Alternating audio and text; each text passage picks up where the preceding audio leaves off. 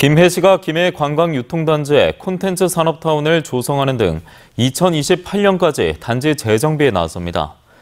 김해시 신문동 일대에 1996년에 시작된 김해 관광유통단지 조성 사업은 농수산유통센터와 아울렛몰, 워터파크 등 1, 2단계 사업이 완료됐고 최근 3단계로 250개 객실 규모의 호텔이 들어선 데 이어 콘텐츠 산업타운이 조성됩니다.